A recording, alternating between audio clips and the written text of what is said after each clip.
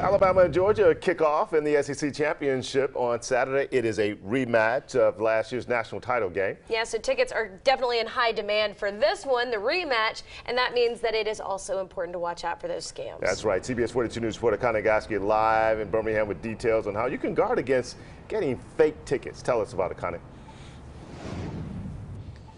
Yeah, guys, the event is sold out at this point, so if you want to get tickets, you're going to have to check out secondary market options, and that is a great opportunity for scammers to take advantage of you. So if you're looking at that, you're going to have to be extremely careful throughout this process. I caught up with the Better Business Bureau about it. They say they received more than 300 reports last year about ticket scams at various events throughout the year.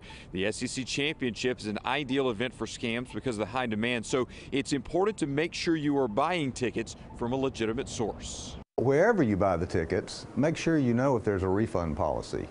Uh, and typically, uh, legitimate ticket brokers will have some sort of refund policy. So that's one thing to look out for. He also recommends paying by credit card. You'll likely have some kind of protection that way. It's not always safe to pay with cash, and it is a red flag if a buyer asks for a gift card payment.